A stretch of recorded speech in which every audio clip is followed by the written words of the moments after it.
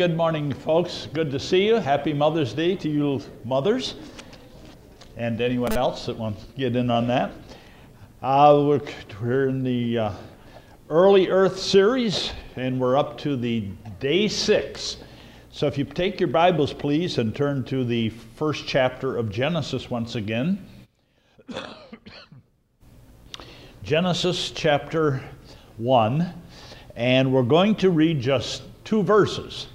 We're actually going to cover more than two verses, but I'd like to uh, leave these two verses with you. And God said, this is verse 24 God said, Let the earth bring forth the living creature after his kind, cattle and creeping thing and beast of the earth after his kind. And it was so. And God made the beast of the earth after his kind, and cattle after their kind and everything that creepeth upon the earth after his kind. And God saw that it was good. And those two verses, we read that phrase, after his kind, we read it five, five times there. And um, uh, we have it 10 times total in the first chapter of Genesis. Just that phrase, after this kind, puts the Word of God at variance with the theory of evolution because the theory of evolution does not believe in reproduction after its kind, exclu- uh, exclusive reproduction after its kind. So let's look to God in prayer, and we're going to look at the beasts of the field and so forth that were created after their own kind. Heavenly Father, now we come before you in Jesus' precious name. We thank you, Lord, for the Word of God, and we believe it's the final authority in all matters. Lord, men say this and that and the other thing, and then they change their mind and they get the uh, reputation of being experts in their field, and then it keeps changing and so forth. But the Word of God is unchangeable, and it's not to be added unto or subtracted from, or to be changed or altered in any manner. And Lord, just let God be true and every man a liar. And so, Lord, we just cling to the Word of God as the ultimate truth. And Lord, as we look at this uh, day six in the creation week, Lord, we pray that we, our hearts will be ministered to by your Holy Spirit. And Lord, we pray that you would bless and edify your people this day. In Jesus' name, amen. Okay, the. Um, God creates everything and they reproduce after their kind both man and mammals, both are created on day six.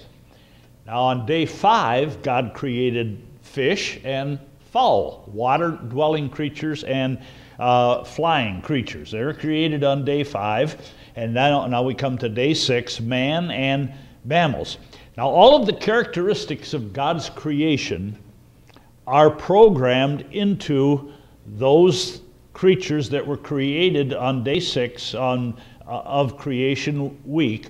In other words, what we're saying here is there is a great variety within the species that God created. He created uh, all of these land, well, mammals, uh, basically. He created these mammals, but there's a great variety within the family of each individual mammal. And we're going to look at, today, we're going to look at dogs.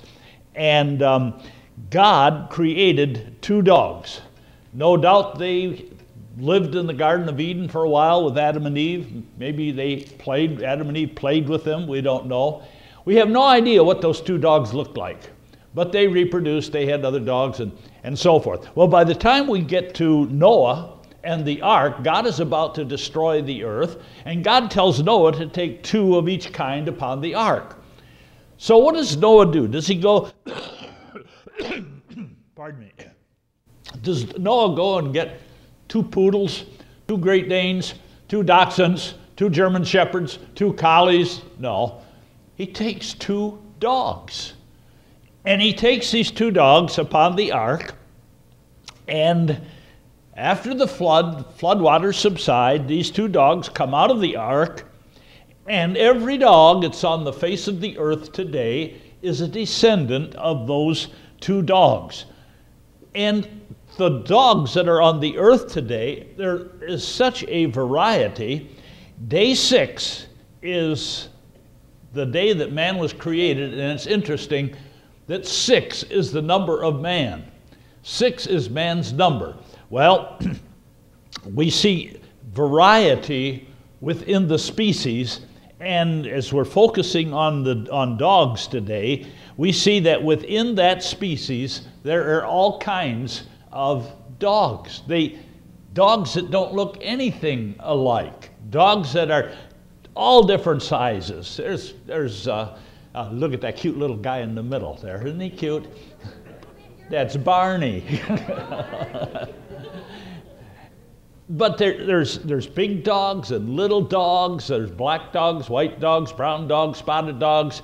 There's dogs with long hair, short hair, curly hair all kinds of variety within the species, species. Huge dogs, little tiny dogs like a, a, Mexican Chihuahua, and huge dogs like a Great Dane and a St. Bernard, and so forth. So, um, all of them are related. They all came from those same two dogs that came off the ark in the days of Noah. God didn't create poodles, Great Danes, fox terriers, and so forth. He created two dogs. And those two dogs that he created, he programmed into the genetic structure of those dogs all of the information to cover this whole dog family here and all of the others. This is just a, a very few of the variety of dogs. He programmed into uh, those dogs, the original dogs, all of the information that uh, shows up in, for instance, a little uh, a white dog or a big uh, a different colored dog or uh, any any of these, he programs into into the, into their genes all of this all of this information. It's it, it's all there now.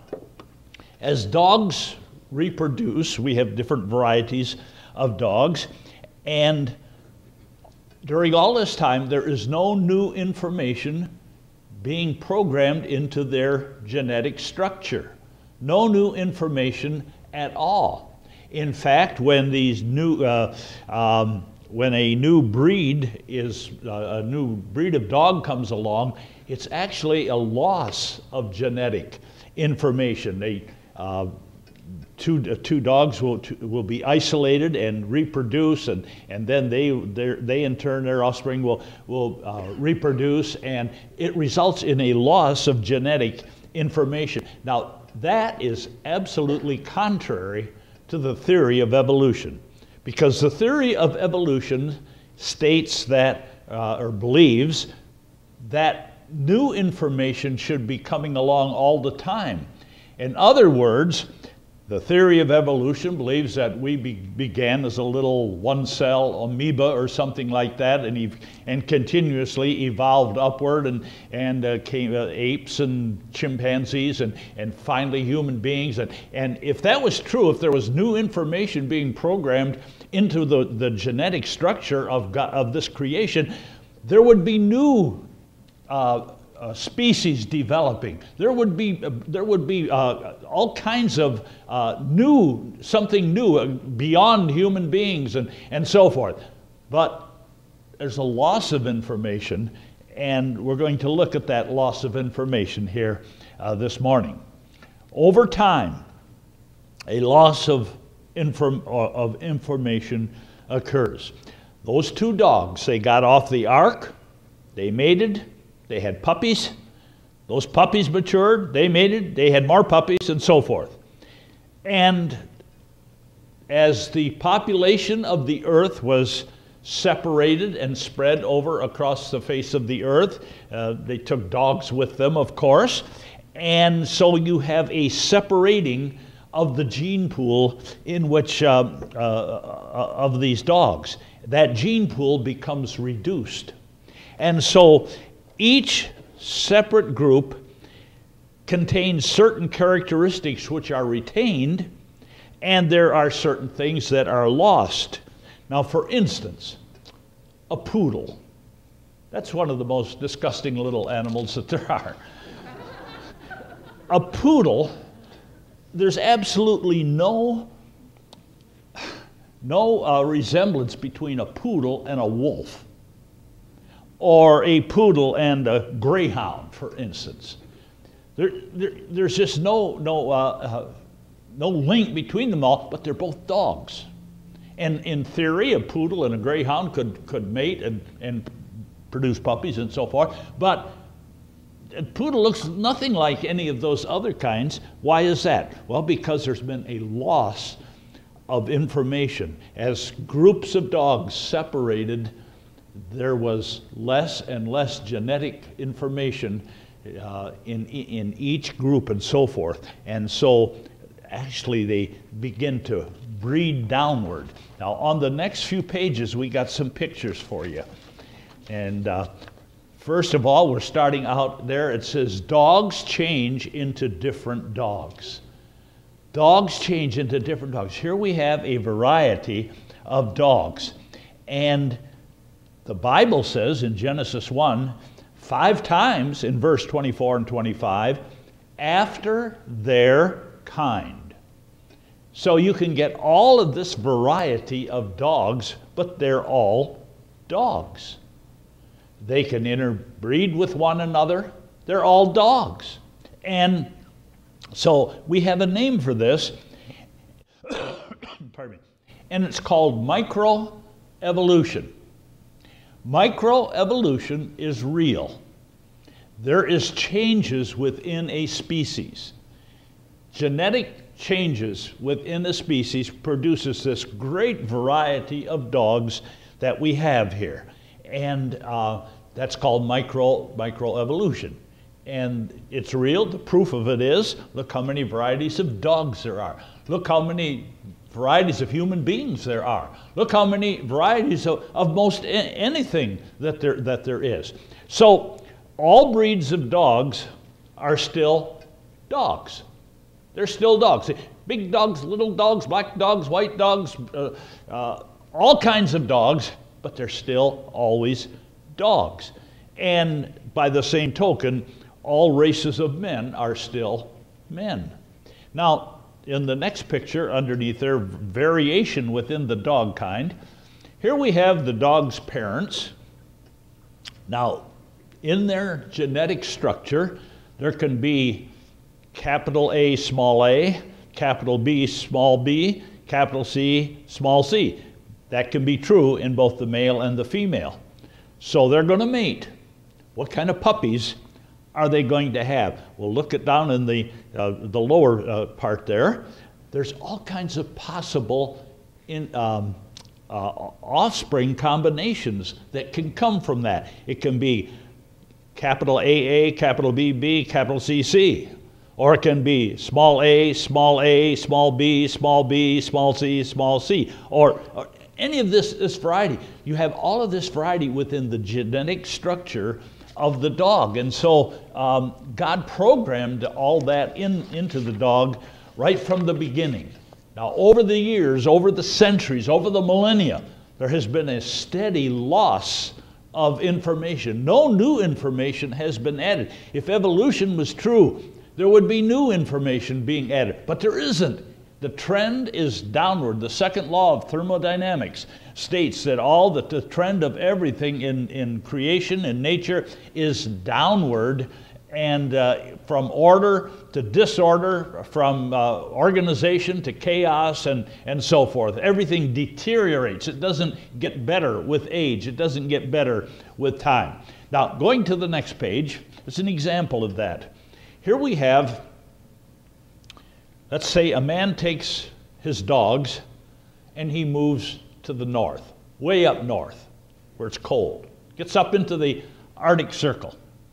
Now, what kind of dogs live up in the Arctic Circle? Well, there's wolves, for one thing. There's husky sled dogs.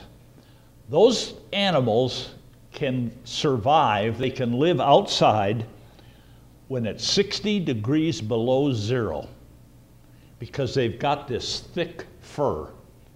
It's just absolutely unbelievable.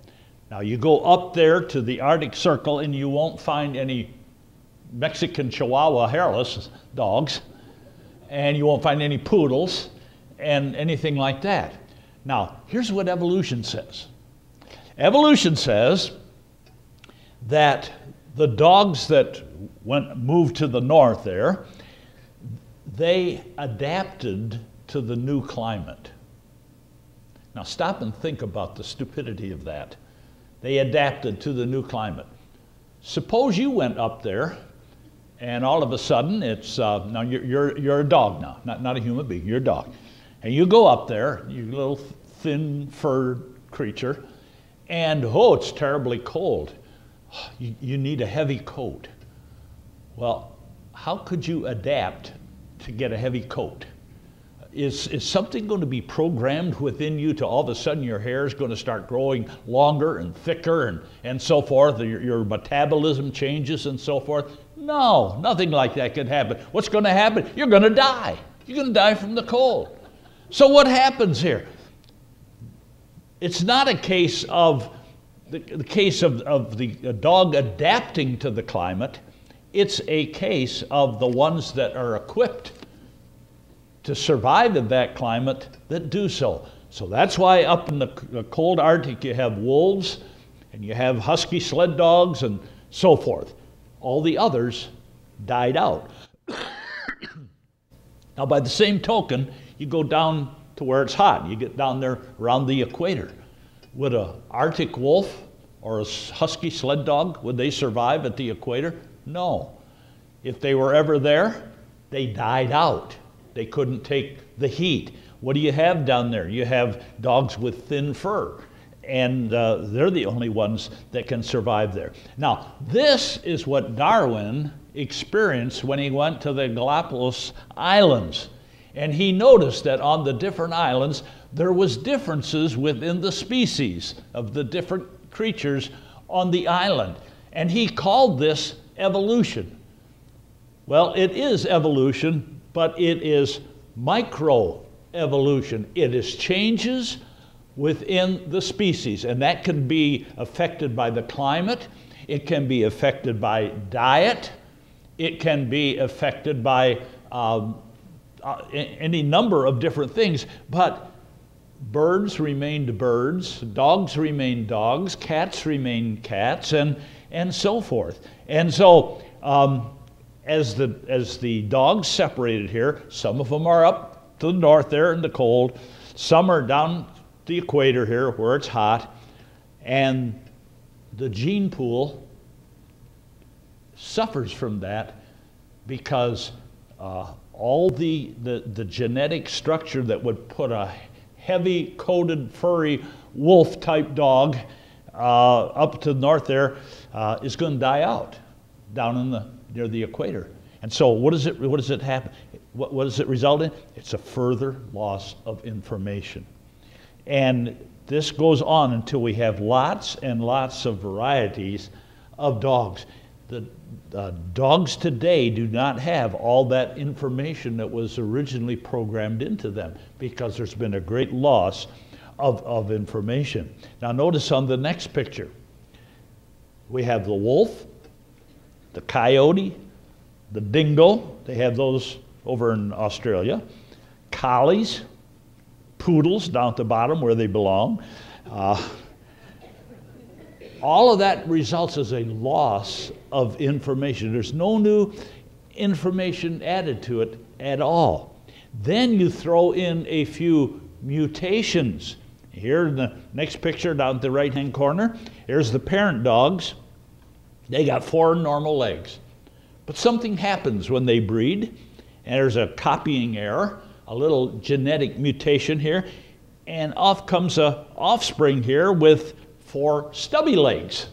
And so here again is a further loss of, in, of information. So uh, this is changes within the species. Can be a change in the color of their coat, the size, anything like that. Okay, going to the next page.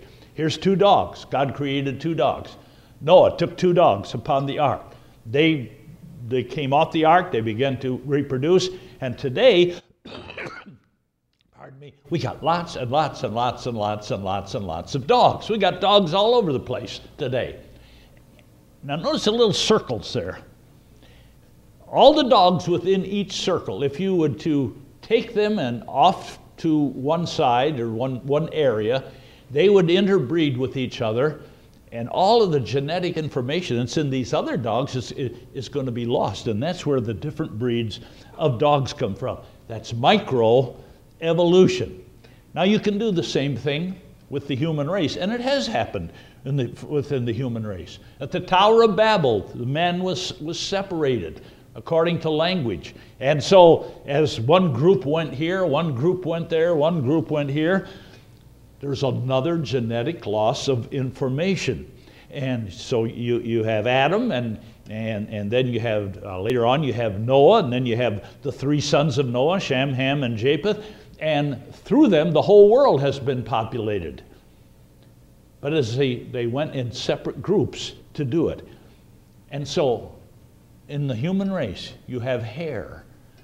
Hair that is blonde, brown, black, red, straight, curly, kinky, great variety of hair, but it's all human beings.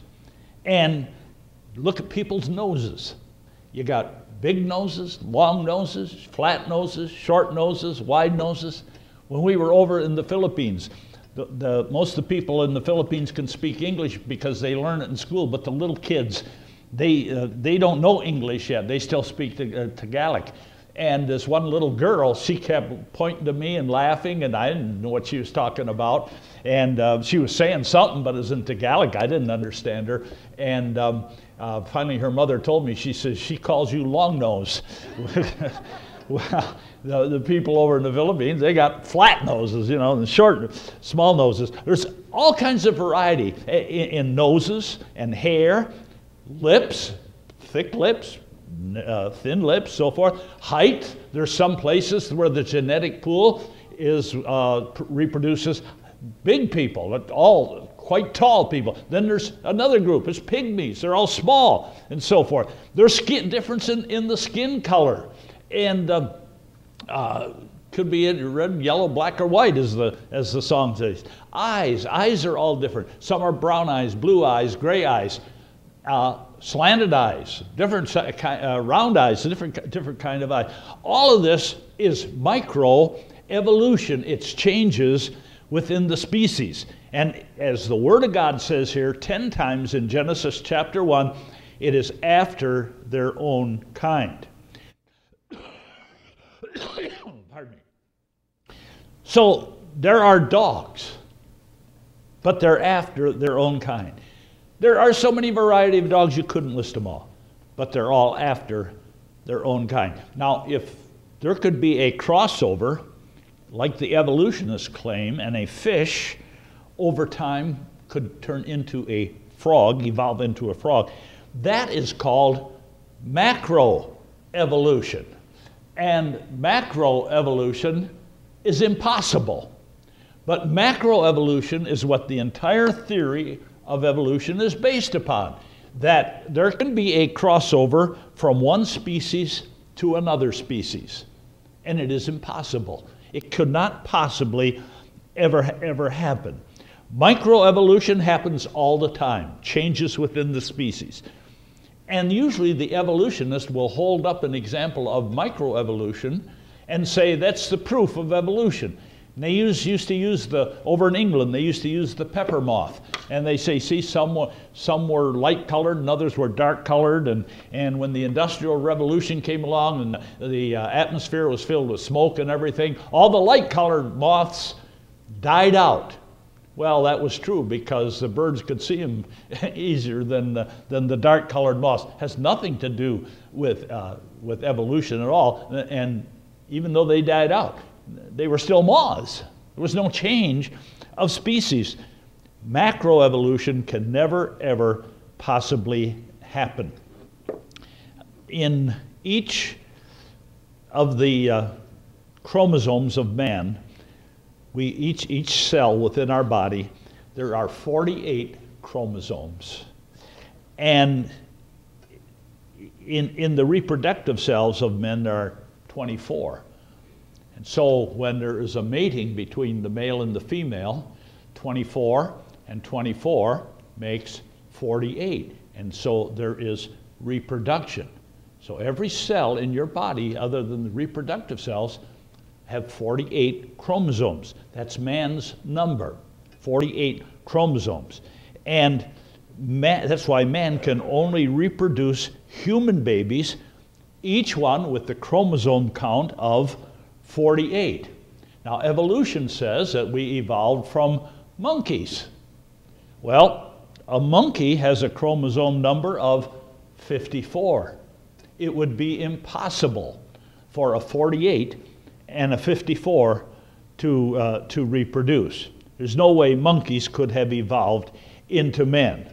Now, there's a article we just came across that's in your note sheets where um, um, well, I find it here. No, maybe I don't have it here. Um, where the, um, the mating of the chimpanzees it's, in your sheets. I know there. I know it is. Oh, here it is. It says you may be a monkey's uncle. This is from just one year ago, May 19th of 2006, and this was a study that was done in Harvard and the and MIT, and uh, it says they examined the genetic record of humans and chimpanzees. Now these are prominent scientists in prestigious schools, and it says by studying more than 31,000 bits of the genetic structure measuring how closely humans are related to chimpanzees, the scientists were able to study how quickly the two species became different from each other. The research team found that it took at least, and this, you gotta laugh at this. The research team found that it took at least hundreds of thousands of years and perhaps as long as four million years for human and chimpanzee eh, ancestors to stop interbreeding how could they possibly, even if it was true, how could they possibly know how long it took?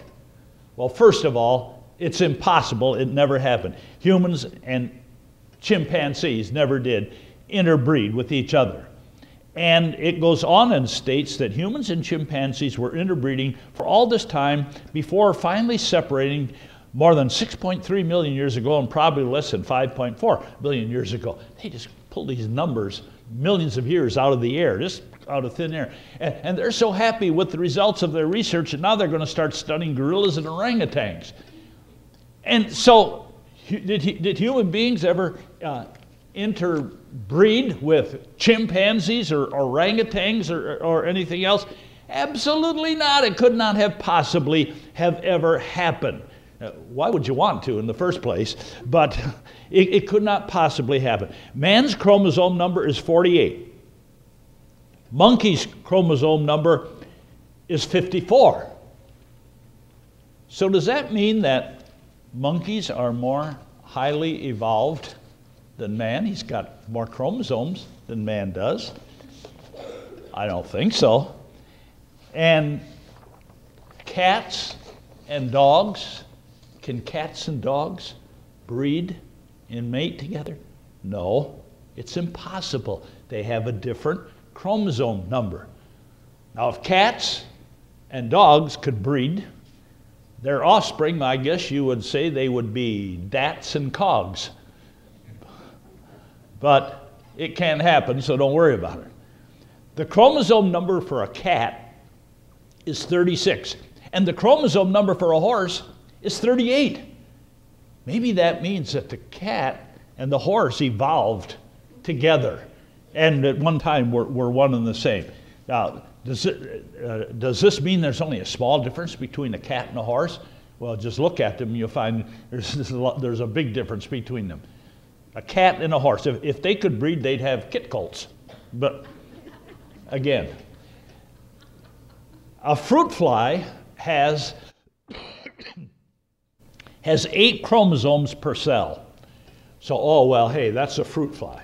You know, way down there, the bottom, uh, the bottom order of, of, uh, of the, the, creation there, uh, uh just a little crummy little insect.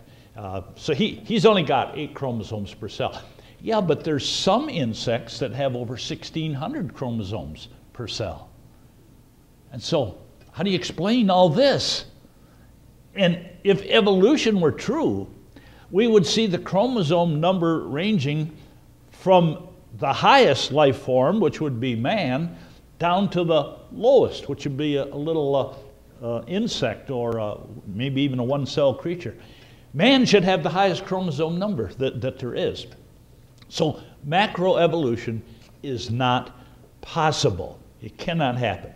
Now you can take a mule, or I am sorry, you can take a, a jackass and a mare, and they can mate, and it will produce a mule.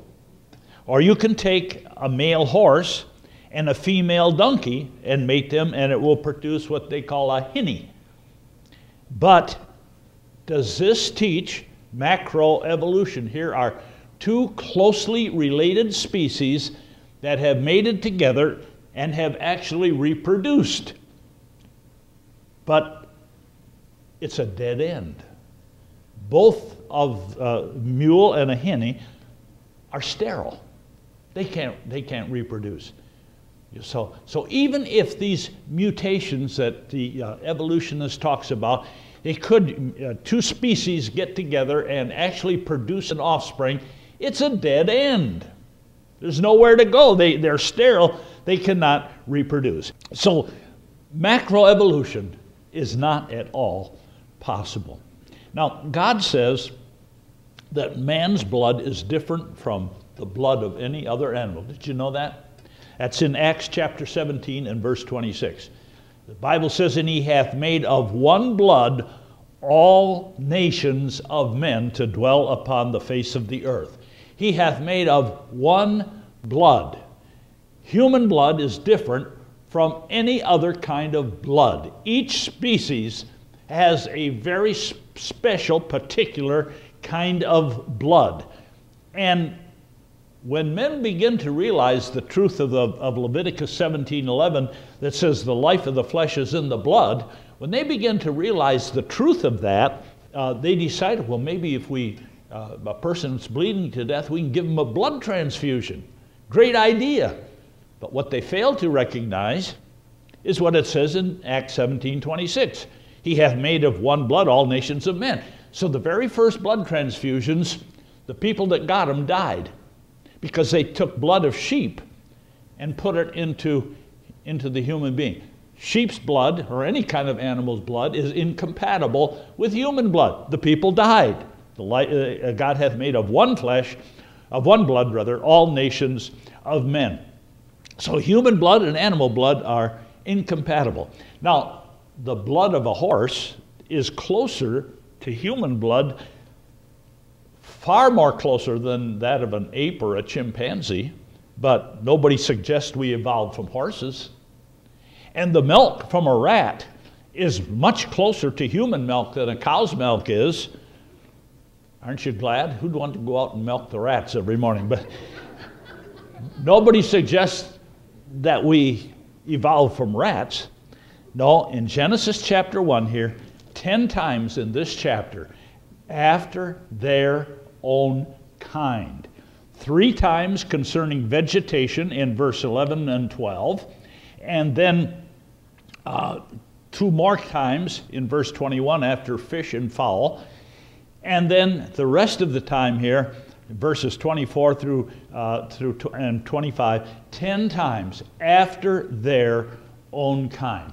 And no one has ever been able to, dis- to disprove that in any way, shape, form, or matter. Now, evolution keeps on trying, kind of like the Energizer Bunny. Keep on trying. And so every once in a while, they, they come up with a new fossil.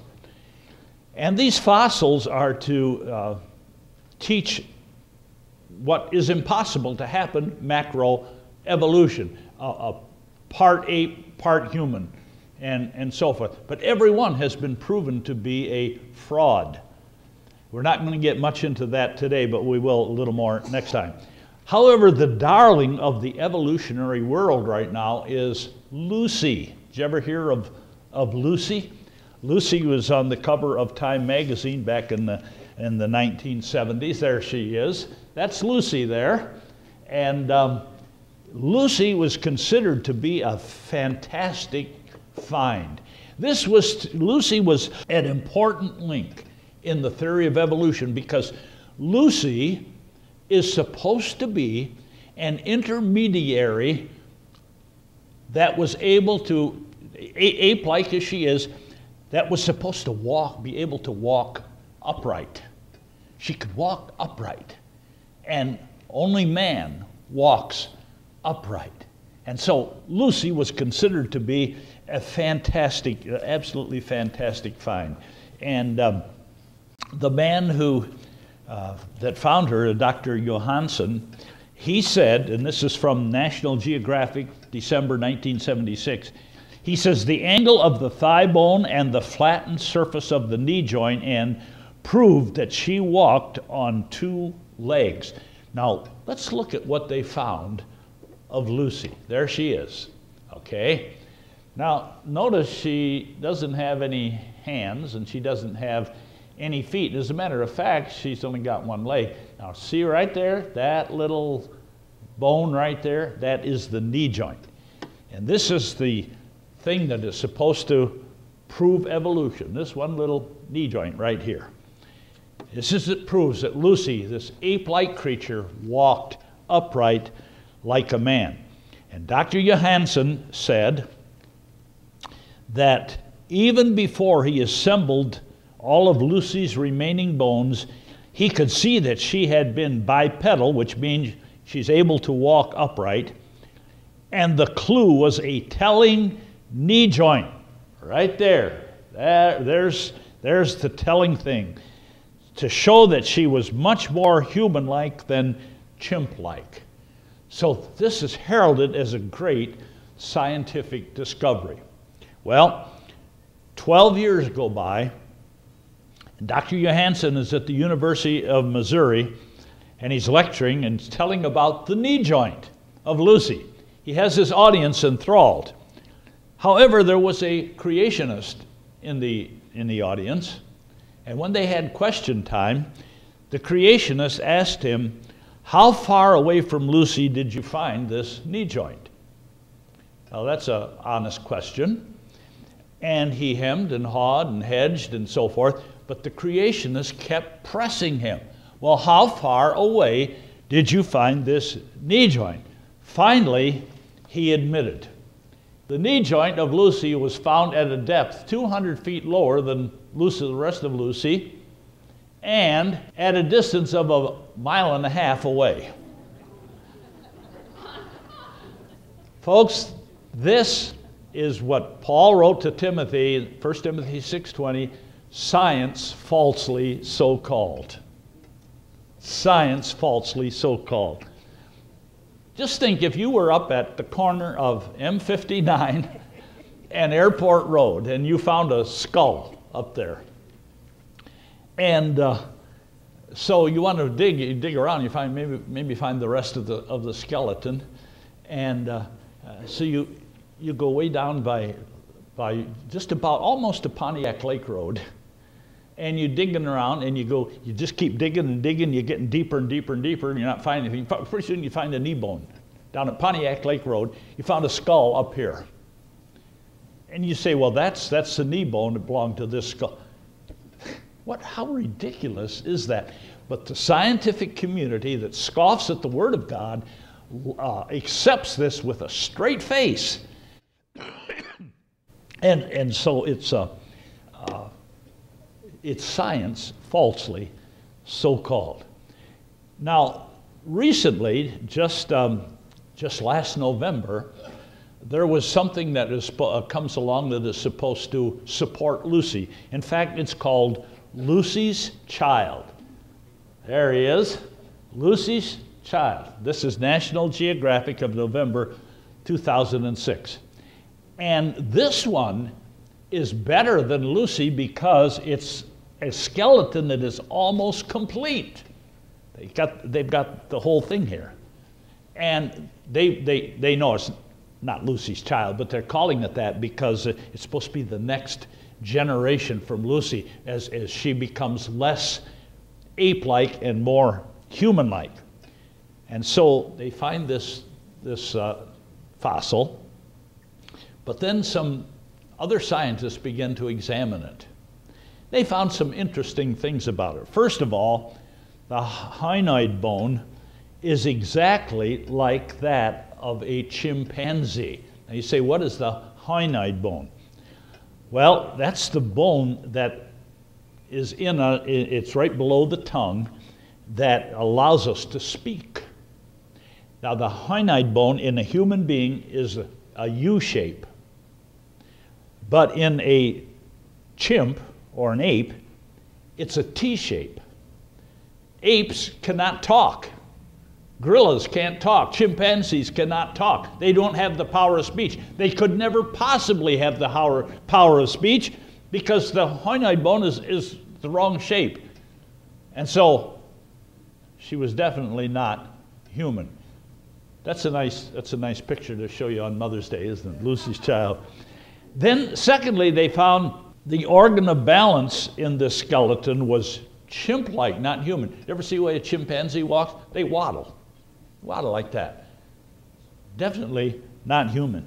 And then they found, and this is a, a biggie, the neck vertebrae were short and thick like a chimpanzee's. You know, the, the, the, uh, on a human, the skull sits up on, on the spinal column at, at the top.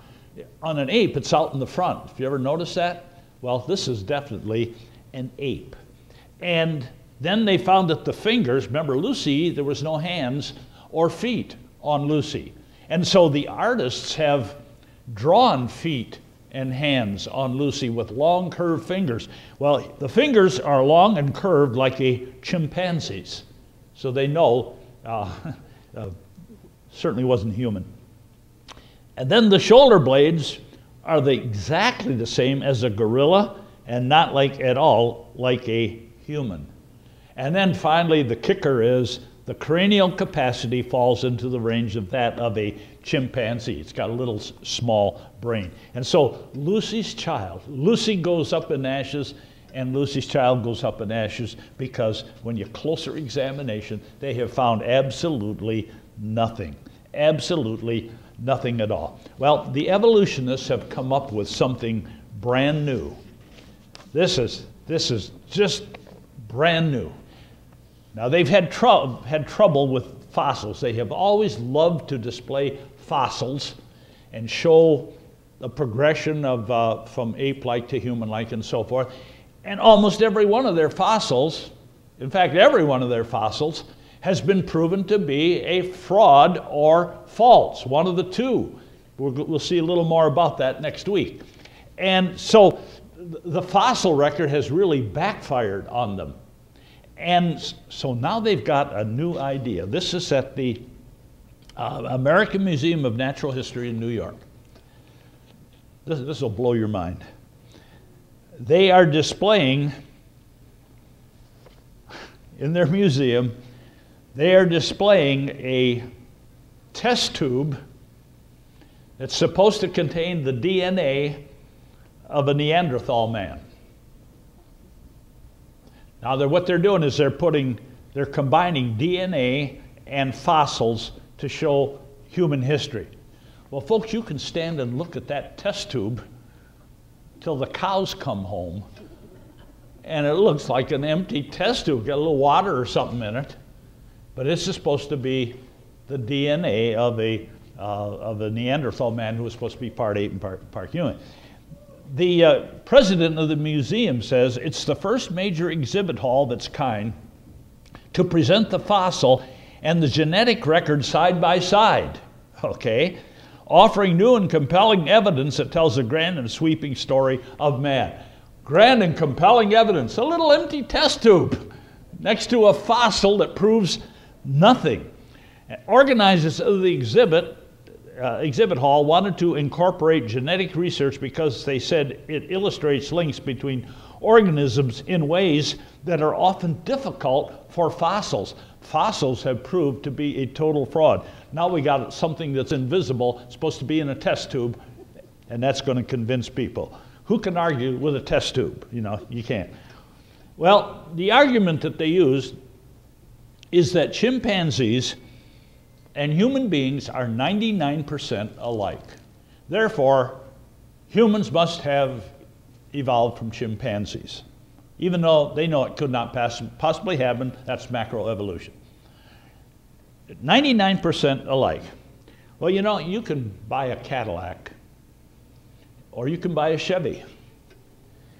And you know what? That Chevy will be more than, more than 99% like that Cadillac. Oh, the Cadillac is bigger and more beautiful and it's got more gadgets and so forth, but over 99% of it will be the same thing that's on a Chevy. The, the same basic thing is going to be wheels and a chassis and a body and, and a motor and, and, and all of that. Now, why are they so similar? Because General Motors made both of them. And why would a chimp and a human being be similar? Because the same God made both of them. And there's a big difference between a Chevy and a Cadillac. And there's a big difference between a chimp and a human being. There's a crossover, there's a there's a gap there that could not possibly ever be crossed. A number of years ago, scientists conducted a, a, a, study for many, many years about on apes. And they came to the conclusion, this was done at uh, government expense, taxpayers' expense. They came to the conclusion, after many years of study, that apes can't talk. Now that was profound. Apes cannot talk. All they had to do is look at the hominid bone in the ape and they would know. They, they can't talk. They never could talk, in spite of the planet of the apes, you know. Uh, they could not possibly ever talk. It, it would have been impossible. So, uh, microevolution, yes, it happens. Macroevolution cannot possibly happen. And the whole Darwinian theory of evolution is resting on that idea of macroevolution. Now, uh, that brings us to the end of the class today. If you want any of the back lessons, they're all laying up on the steps here. We got a few more weeks to go in this series, um, and uh, then we'll be wrapping it up. But if you want any of the back lessons, they're up here. Okay, let's look to God in prayer, and we'll be dismissed. Now, our Heavenly Father, we thank you for all of your blessings. We thank you, Lord, for the Word of God. And Lord, we believe every word in your precious book. And your word says that you, your creation was after its own kind, whether it be vegetation, fish, fowl, mammals, or man. Lord, it's after its own kind. And we rightly believe it, Lord. And let God be true and every man a liar. So we just thank you for the Word of God. May we never doubt it. May we never allow the science falsely so called of this world to cause doubts within our heart. But may we cling to the truth of God. Dismiss us with your blessing now. In Jesus' name, amen.